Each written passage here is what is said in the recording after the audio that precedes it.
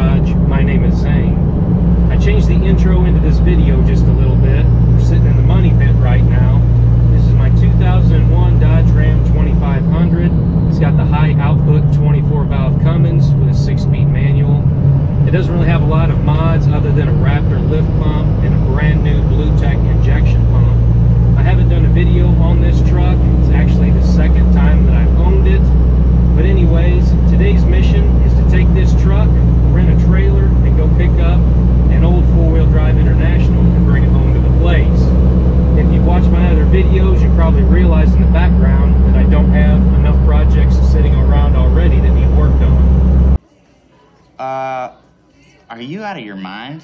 In all seriousness, though, I'm going to take the Dodge, go and rent a trailer, and bring home yet another four-wheel drive international pickup. This one I do have a little bit of a history with that we might go over later on in the video. But for right now, I'm heading to U-Haul and I'm going to grab one of their auto transport trailers. Now, if you don't have your own trailer or you need to haul something in a pinch, these things work fantastic usually around 65 70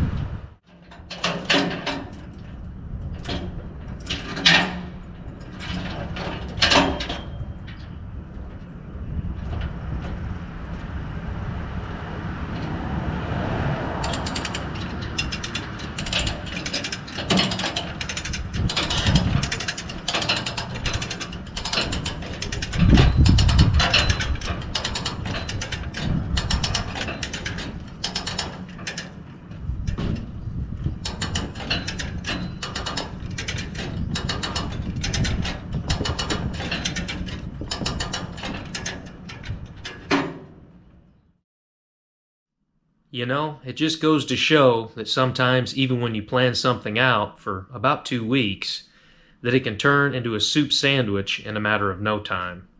Now, the video is not even close to being over yet. I just wanted to take a moment and explain what's going on. You know, it always seems like such a simple process, at least in theory, to take a vehicle that's not running and load it onto a trailer with either a come along or a winch, just simply load it up, strap it down, and drive home. But in my experience, it tends to never work out that way. Seems like there's always some kind of hidden problem that I overlook, or something comes up, and I end up driving home with an empty trailer, which is exactly what happens in the first part of this video. I noticed the drive shaft on the front of the truck was bent, but I paid no attention that the locking hubs were stuck in four wheel drive. So I've got the trailer backed up to the front of the truck, I've got my come along hooked to the truck, and I can move it forward about a foot and then the drive shaft rotates enough to get into a bind, and then the truck won't go anywhere. That's where I'm at. I didn't really want to get my brown rollback out of hibernation. There's a few problems that I need to fix on it, a few small problems, and one major problem being that the rear end needs replaced. I don't want to go into too much and talk through the part of the video. I don't want people to lose interest. We might go over it later in the video, but basically the truck was used and abused by a tractor shop the rear end needs replaced. It's got a lot of slop in it. You can actually park the truck on flat ground, put the transmission in neutral, and almost do a complete rotation with the drive shaft. Now, it's not stuck in between high and low. It's just the fact that the ring gear in the back, I guess, has teeth missing or it's chewed up. It's really weird that it doesn't make any kind of noise. There's no metallic shaving in the fluid that comes out of it, so I'm kind of at a loss there. I think I've got one to swap in the truck. But anyways, I had to make the trip back with my red Dodge and trailer, get the roll back, and proceed to drive 35 miles to this place again to pick up the truck and I could only do about 35 miles an hour. So there's no footage of me driving because you don't want to see people passing me and giving me the one finger salute. But anyways, it's time to get the brown rollback out of hibernation and go back and pick this truck up.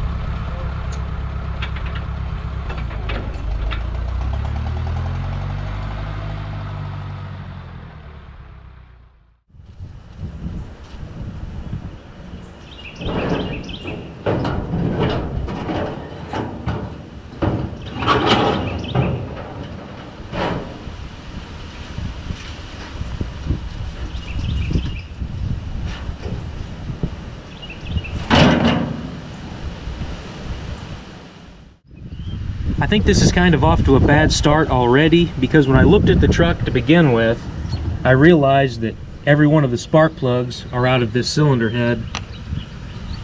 And I just realized today there's an old can of ZEP 45 spray lubricant that I think somebody was trying to do the same thing that I'm going to try to accomplish this morning. The way things look, I'm beginning to be deeply concerned. I'm going to try to spray some lubricant on the top of these pistons. I don't believe the engine is stuck. I honestly haven't even tried yet. We'll try that in a moment. I just want to make sure there's some lubricant on top so I'm not scratching anything. What I'm going to use is Kroil. Now I'm not endorsed by them in any way. I mean, it would be nice, wink wink. But this stuff is fairly expensive, but it works better than a lot of the other stuff that's on the market. I'm going to go ahead and spray down on the top of these pistons, let that sit for a little bit, and then we'll go ahead in the meantime and remove that drive shaft. Another bad sign, at least in my opinion, is this dust cover is off the bottom of the flywheel housing. So it kind of makes me wonder if somebody tried getting in here with a pry bar to get this engine unstuck. But the next thing I have to deal with is this front drive shaft. Now, over the years of this truck being passed through quite a few different hands and being moved around with various pieces of machinery, you can see this drive shaft is bent almost right in the center. Has almost a 22 degree bend in it. I mean, you can see this relief in the cross member is where the drive shaft is supposed to be, and it's pushed all, all the way over to the side. I can't really blame that on the guy that I bought it from because whenever I originally looked at this truck before he even moved it, the front drive shaft was already mangled. You can also see another spot further back where somebody's pushed it with something. But I need to get this out of here so I can have a drive shaft shop build me a new one. At least they'll have all the measurements that I need. Something else neat to show you is the transmission has this short drive shaft in between the transfer case. If you're not familiar with that, it's called a divorce transfer case. It'll make it a lot easier if I do decide to swap a different engine into this truck down the line. I can either cut this drive shaft down and shorten it or lengthen it depending on what type of engine and transmission I put in front. But let me go ahead and get the tools out and I'll get this drive shaft taken out of here.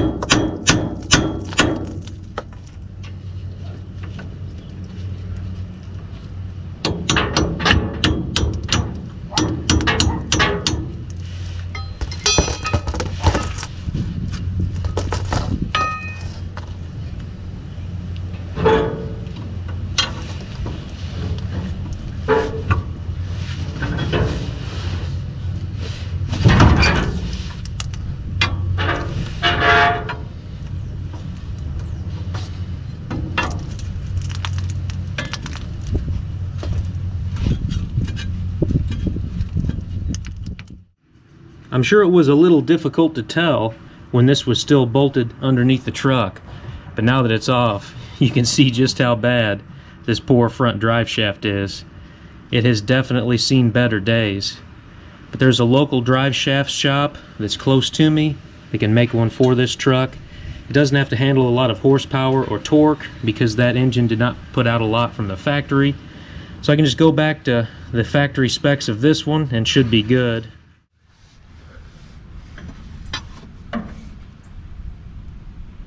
Oh, that engine is not budging.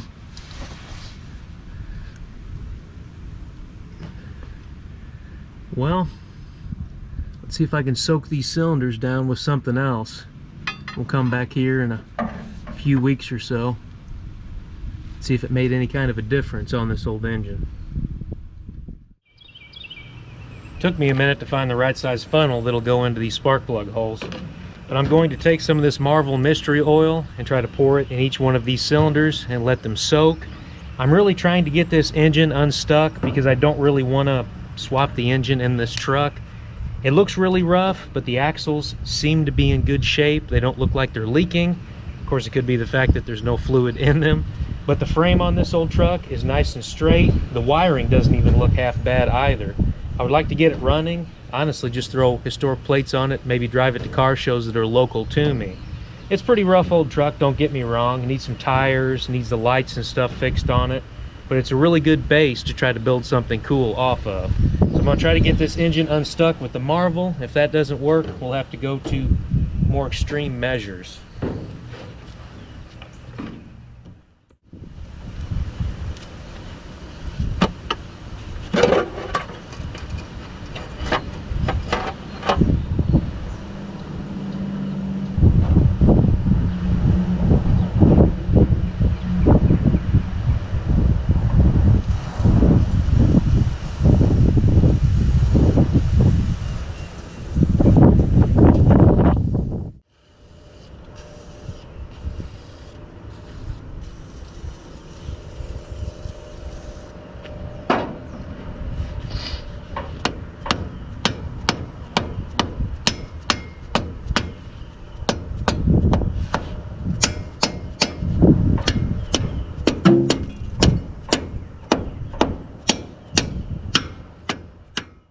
I don't mean to leave you in suspense, but you made it to the end of the video, so you know what that means. No more for today! Alright, enough with the jokes, need to be serious for once. But I need to let the engine soak, and hopefully the lubricant will help get the engine unstuck. If that doesn't work, it looks like I'm going to have to either pull the cylinder head, or possibly even the oil pan off of this engine. I really know nothing about it. For all I know, it could have a broken rod inside of there, which is causing it not to turn over. But that'll be in the next video in the series on this truck.